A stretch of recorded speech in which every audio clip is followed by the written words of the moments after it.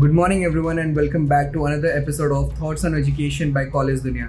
Today, I'm glad to host Professor Ramesh Behl, Director of International Management Institute. Sir, I'm welcoming welcome you to the College Dunia Thoughts on Education program. So, so, so, kindly please introduce yourself to our viewers, sir. I'm uh, Professor Ramesh Behl. Uh, I'm the Director of uh, International Management Institute, Bhubaneswar campus. Uh, since 2012. Uh, prior to that, I was uh, with IMI Delhi, and actually I started my career with uh, IIM Lucknow. then moved to IIFT New Delhi, and then IMI Delhi. currently with uh, IMI Bhubaneswar for more than 10 years. Uh, I came here to set up this particular campus. Uh, uh, so from the first batch till the current 13th batch, we have uh, seen the institution growing uh, day by day. Okay, sir. So then, sir, being the director, what is your philosophy of leadership? How would you describe your leadership style, sir?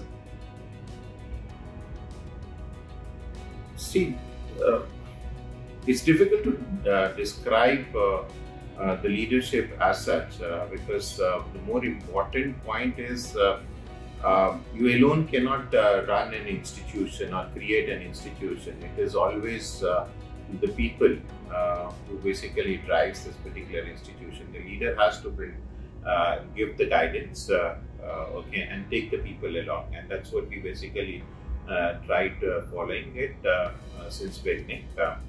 Um, the two different things which we did, one, we ran this particular campus as an entrepreneurial venture, okay where we gave uh, a free hand uh, to each and every one, uh, okay, to think out of the box and bring new ideas of managing an institution.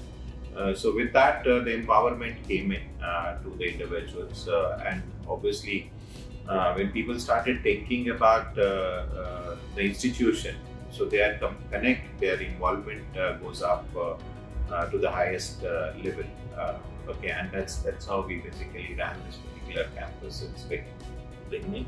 Uh, faculty is empowered uh, to take decisions. Uh, uh staff is empowered to take decisions. Uh, uh, we are a student-run institution, so there are lots of committees and clubs at the students' level, and the students basically try to Uh, drive those initiatives uh, for uh, their development.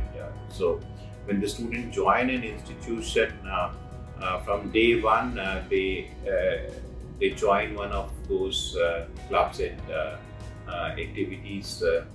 okay, and then they automatically try to learn while doing certain activities, events.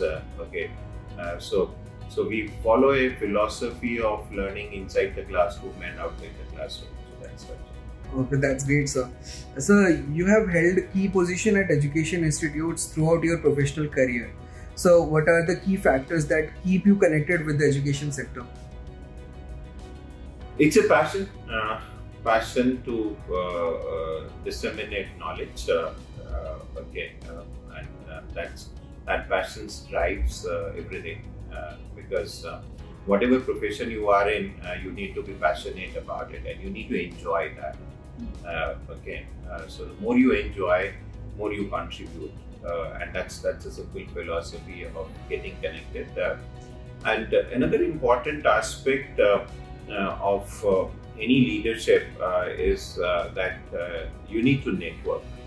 okay, and you need to be connected uh, with uh, people from all spheres of life. Uh, and especially when we belong to an education sector, okay, we need to uh, uh, bring in people from a diverse uh, backgrounds.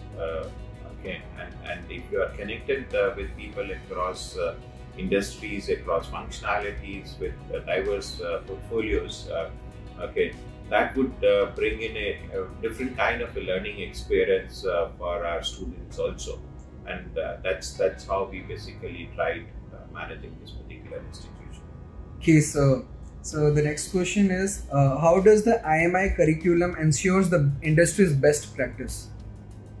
Uh, every uh, uh, every year uh, during uh, the summer vacations, okay, we, we try to revisit our curriculums. okay, our curriculum revision actually happens at three three stages. Uh, one uh, at the area level, uh, okay, the functional area level, the internal faculty sit together and they try to revisit uh, what topics are relevant and what topics needs to be changed. Uh, uh, okay, and this second is the extended area level where we basically try to involve industry experts also. okay. Uh, to give us a feedback on uh, whatever we are trying to teach and whatever is relevant for their industry, for their requirements. Uh, the third, we do it at a faculty council level where all the faculties basically sit together and try to revisit what are we teaching and uh, can we integrate uh, some of the things at the cross-functional levels also uh, okay because some of the topics are being taught from a marketing perspective as well as from the finance perspective as well as from the operational perspective. Uh, so, uh, so the cross-functional integration actually tries to happen at the faculty council level. The third, uh, fourth one, uh, what we have is an academic advisory committee, uh, which is basically a group of uh, senior leaders from the academia as well as from the industry. okay, so it's not only the faculties of IMI, we basically draw uh, the academia from uh, the leading institutions of the world, uh, okay, and the industry leaders. so that process also we do it once in two years, okay, and based on the feedbacks, we try to uh, update our uh, curriculum and keep it uh, more updated, keep it more contemporary, and that's that's how we drive this Okay, so so, uh, and uh, what do you think your roles and responsibilities to the institution and the students are? To create uh, good human beings, uh, that's that's the foremost uh, responsibility. Uh, okay, the students who come out of an IMI should be passionate about driving their passion. okay. Must have a respect for every individual, every human being. okay, and they must contribute uh, uh, to the development of the society and uh, and in turn to the development of the nation even. okay, and that's that's how we really look at it. Okay, so and so when you first joined IMI, so what was your vision for the institution? Okay, uh, interesting. Uh, uh, Uh, when I joined, uh, we we just started this particular campus. Uh, we had only 12 students, four faculty members, and about 8 to 10 uh, staff members, uh, uh, such a big campus. so when you start from zero, okay, you always think that how can you sustain and how are you going to take this institution to the new heights. That is what, with that particular vision I came in, mm. right? And, um, as I said, uh, we ran this institution as an entrepreneurial venture. Uh, so uh, we tried doing uh, things very differently. Uh, okay, so that uh, we try to create a mark in, in the industry, in the society, and that's what we are able to achieve it. okay, so sir, and what do you see as IMI's greatest strength? My faculty, my people, my my students, my alumnus. Okay, sir. Okay. And uh, what do you see as the biggest challenges facing higher education today, and how do you think your institution is addressing those challenges?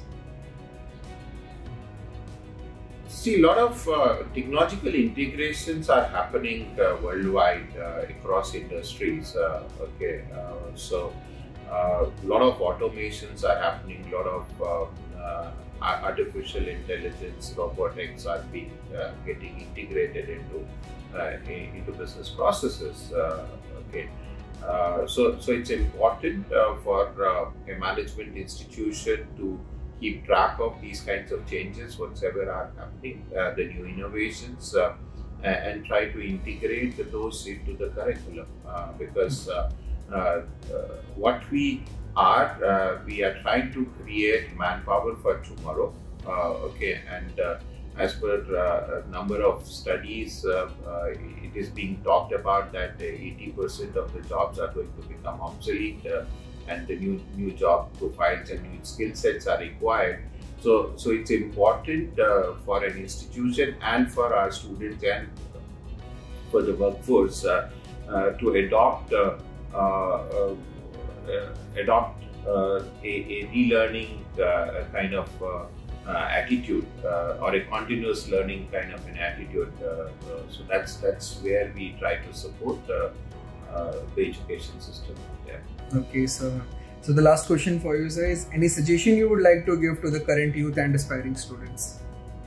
Follow the passion.